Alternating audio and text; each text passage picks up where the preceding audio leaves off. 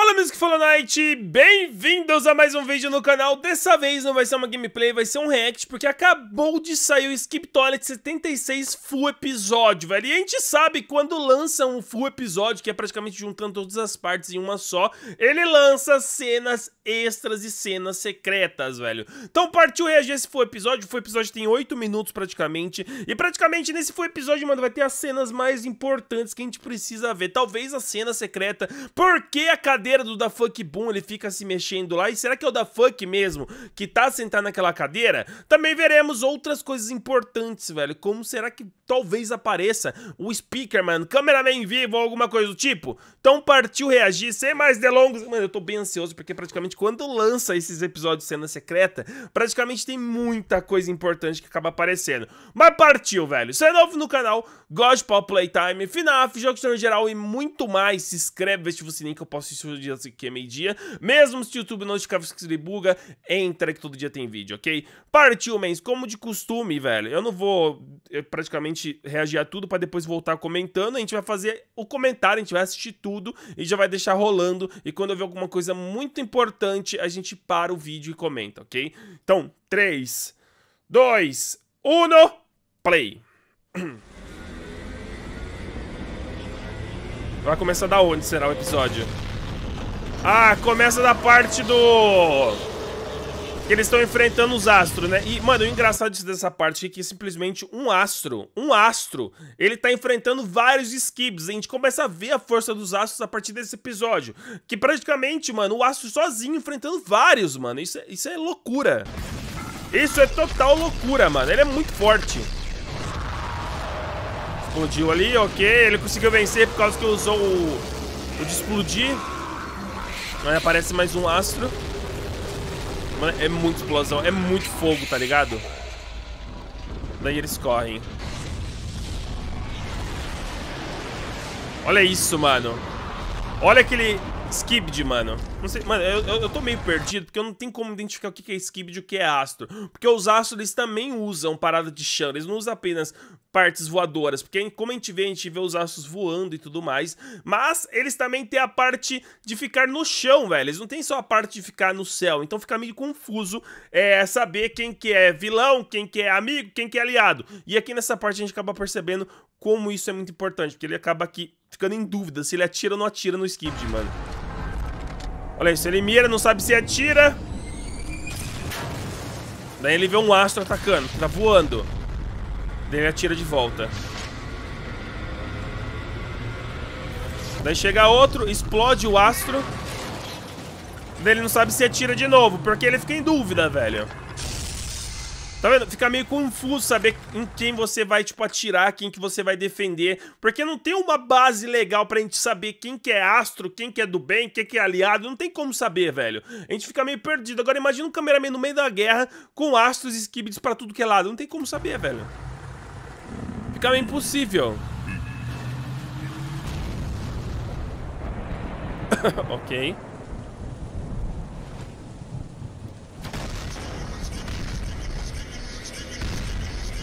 A cadeirita se mexendo aqui. Outro astro. Mano, se eu não me engano, vai ter três cenas secretas, velho. Espero que tenha mesmo três. Se eu não me engano, são três, velho. Arrancou ali a parada. Matou. Na verdade, não, né? Ele levanta ainda. Aqui, mens, isso é muito importante. A gente acaba vendo que tem esse símbolo aqui na testa desse astro. E também, quando a gente chega na parte da duquesa, a gente também acaba vendo que tem um símbolo na testa dela. Mas o símbolo dela é completamente diferente. Eu acabei percebendo que os símbolos que ficam na testa dos personagens através de patentes, cada vez mais poderoso, é diferente o símbolo. Então a gente consegue ver um, símbolo parecido no, na testa da duquesa, mas o símbolo que está na testa dela tem muito mais desenho, muito mais círculos e tudo mais. Então eu acho que pode ser por nível de poder os símbolos na testa, tá ligado? Pode ser isso.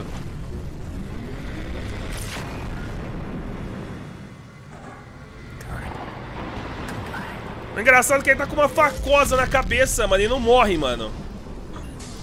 Aí chegou o Big Cameraman. Hello, man! Hi! Senhor, muito obrigado por ter me salvado, viu? Eu precisava disso. Posso dar um abraço? olha isso, mano. Ele é muito forte, velho. Incrivelmente é o canhão do Speakerman, né? Que ele tá usando. É um dos canhões do Speakerman, né? Usou a proteção. Oh. E chegou o Brutamontes. Tá vendo, ó? Dá pra ver aqui que isso daqui é um astro simplesmente de terra, mano. Não é um astro é, voador. Então aqui ele tá usando tentáculos de aranha, que nem o, o, o Skip Cientista usava, mas aqui ele acaba ficando no chão, mens. Então fica meio difícil identificar quem que é astro, quem que não é astro. Por isso que esse fica meio perdido em quem atirar, tá ligado? Tome. Oh. Agora eu quero ver, man. Vocês são homem? Toma aí, ó. Oh. Mano, é muito forte a Spider... A, Spider, a Spider câmera, mano. A câmera Spider, mano. É muito forte, velho. Praticamente uma tecnologia muito mais avançada do que a gente tá acostumado a ver, tá ligado? Olha a força dela, mens. E lá dentro, o cameraman cientista. Essa parte que eu fiquei muito chateado, porque os TVM eles são muito idiota, velho. Até que não tá tendo a fala, velho. Será que não colocaram ele xingando?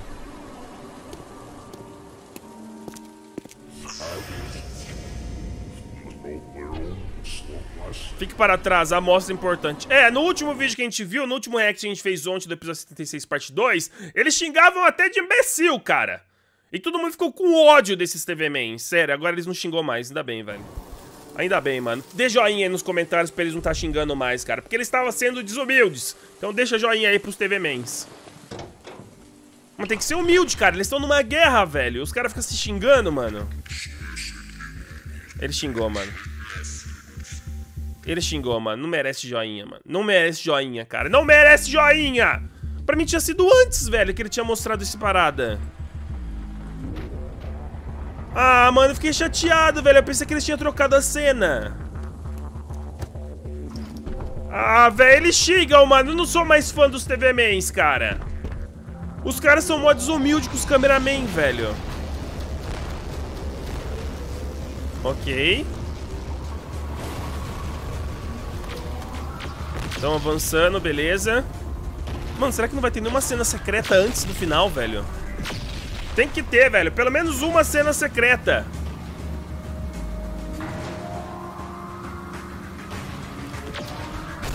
Ok. Mano, essa parte que eu achei engraçado, velho. Porque, no caso, tem uma, uma cadeira voando, velho. Isso daqui não faz sentido nenhum pra mim, cara. Uma cadeira voadora. Será que praticamente pode ser o... O da Fuck, mano, voando com a sua cadeira, velho. Não dá pra ver se tem alguém na cadeira, né? Não tem gente na cadeira, só a cadeira voando. Se liga. É uma cadeira voadora mesmo, sem ninguém dentro. Isso é muito estranho. Espirrei. Bora. Coloca aqui normal de novo, vamos. Mano, é muito estranho você ver uma, uma TV voando, tá ligado? Chegou na base principal. E agora é a parte que aparece nossa querida Duquesita. A personagem mais bonita de Skip Toilet. Olha isso, mano. Oh. Correndo, ok. Destruiu a ponte. Cena secreta.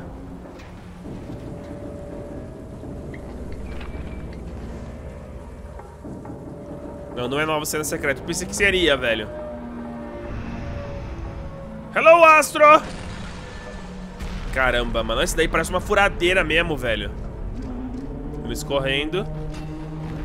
Apareceu outro astro. E dá pra ver que, tipo assim, a potência deles são muito poderosa, mas muito poderosa mesmo, por causa do seu tamanho, velho. Os principais astros são gigantescos de fortes e gigantescos de tamanho também, mano. Então eles ficam perto do, do TV Man, que é o maior lá, o Titã TV Man é o maior que tem. E o TV Man vira uma miniatura perto deles, porque eles são muito gigantes, mano. E aqui dá pra perceber que os médios são desse tamanho, é do tamanho do TV Man. Então imagina o nível de força que esses personagens têm, velho. É muito forte.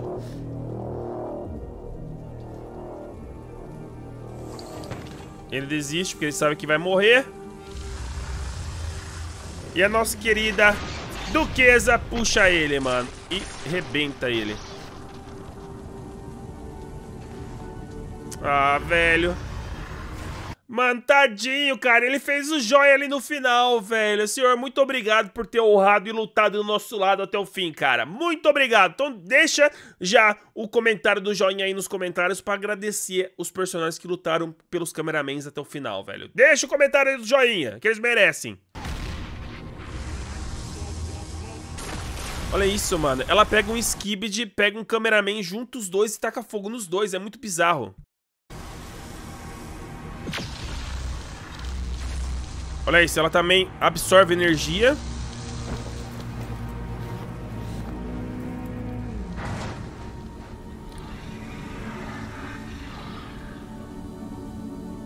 Oh, mano, olha que personagem bonita, velho. Na moral, mano, a, praticamente a programação que eles fizeram em cima dessa personagem ficou muito bonito, velho. Na moral, ficou muito bonito mesmo, velho. Sério, fazia tempo que eu não via uma personagem bonita assim dentro da história e dentro da animação do The Fuck Boom, mano. Olha que personagem, mano, é muito bem feita, parece real, tá ligado? É muito louco. E aqui a gente consegue ver o símbolo na testa dela, que é um símbolo diferente daquele skib de astro que a gente acabou vendo, que o símbolo dele era como se fosse um triângulo e o dela é como se fosse uma flor, tá ligado? É diferente, então com certeza pode ser baseado no nível de poder de cada personagem esse símbolo aqui. Ele mostra o dedo, ela arranca a mãozita dele, arranca a outra, arranca a perna. E, mano, dessa vez a cena muda. Porque quando a gente tinha assistido no episódio 76, parte 2, saiu um monte de coisa branca do corpo do personagem e ficou meio esquisito. Então eles tiraram isso porque teve muita comentário sobre isso. Não sei, o da que ele gosta de fazer essas paradas esquisitas, né? Mas tudo bem. É estranho porque ela não mata ele de primeira, né, velho? Caramba, a cara de psicopata dela, velho. Retira o que eu disse, ela não é bonitita, não. Mano, cara de louca, velho. Vocês viram isso? Mano, a cara de louca que ela faz, velho. Se liga. Ó, ó, calma aí, calma aí, ó. Olha isso, cara de louca, velho. É parente do Gemen, mano. Obviamente é parente do Gemen. Olha a cara de maluca, mano. Mano, a cara de maluco que ela faz, cara. Retira o que eu disse, não é bonita, não. Matou o personagem.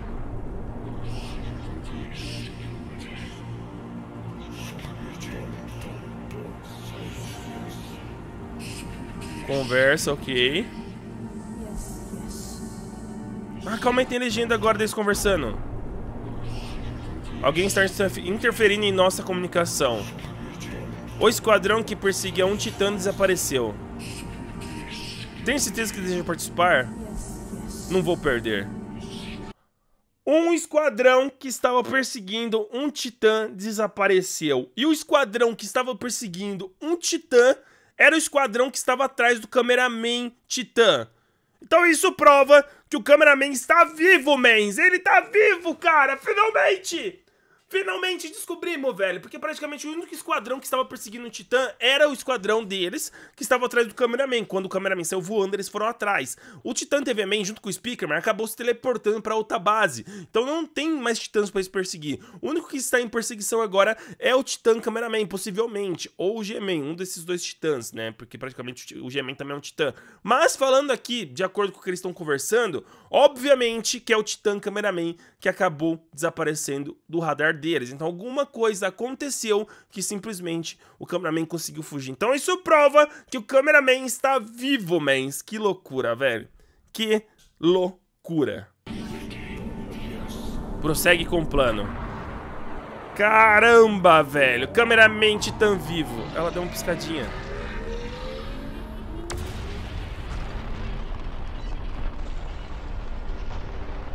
Que da hora, velho. Titã Cameraman totalmente vivo, mens. Que loucura.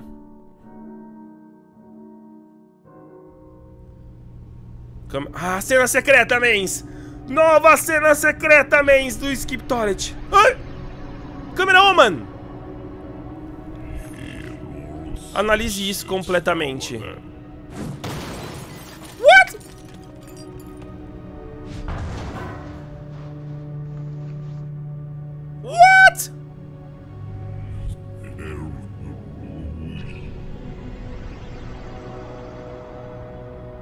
Aconteceu? Eles viraram inimigo dos TV Man, velho. Mano, eles viraram inimigo dos TV Man, velho. Mano, eles viraram inimigo completamente dos TV Man, velho. Praticamente os cameramen ficou puto porque eles, os TV Man acham que manda, tá ligado? Acham que são superiores. Aí o cameraman, Big Cameraman, ficou puto e jogou as coisas nele, mano. Daí ele fala, vocês vão se arrepender disso e vai embora. Que, velho, será que os TV Man vai se aliar com os astros, mano? Que loucura que deu aqui agora, velho. Que loucura. Espero que não, espero que não. Mas que ele ficou putaço, ele ficou. E a câmera, Oman, pega o bastão dela.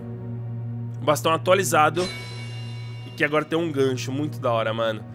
Cena secreta maluca demais, velho. Então, nessa cena secreta, vimos que tem as falas do Skibidi conversando com a, com a Duquesa, falando sobre o plano deles e falando que um exército, uma equipe estava atrás de um titã e simplesmente ela desapareceu do radar. Mas aí sabemos que o titã cameraman pode estar vivo, velho. Não é uma certeza, mas sim uma teoria por causa dessa fala. E simplesmente vimos agora que os TV Men não estão muito bem com os cameramans. Então pode existir uma guerrinha entre eles aí também muito legal. Então é isso, comenta o que acharam do vídeo, comenta o que acharam do react, se é por aqui, gosta de Pop Playtime, final, jogos de geral e muito mais, se inscreve, ativa o sininho que eu os dias que é meio-dia, mesmo se o YouTube não chegar que ele buga, entra todo dia tem vídeo, comenta o que vocês acham, teorias de vocês, vocês acham que o TV Man vai ficar contra os cameramans? Quem venceria essa guerra, cameramans ou TV Man, se eles ficarem contra? E será que o cameraman Titã está vivo? Comenta que eu quero saber. Então é isso, obrigado por tudo, valeu, falou e fui.